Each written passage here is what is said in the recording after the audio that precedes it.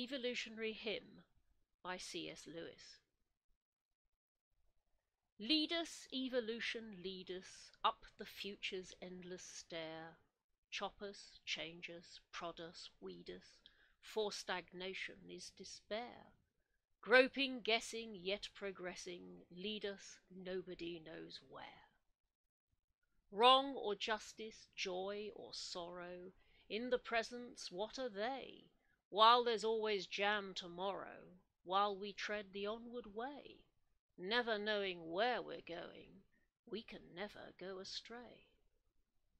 To whatever variation our posterity may turn, hairy, squashy, or crustacean, bulbous eyed or square of stern, tusked or toothless, mild or ruthless, towards that unknown God we yearn.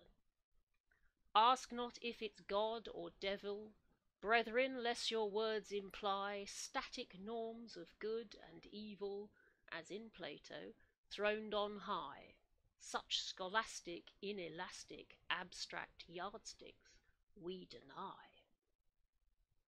Far too long have sages vainly glossed great nature's simple text. He who runs can read it plainly. Goodness equals what comes next. By evolving, life is solving all the questions we perplexed.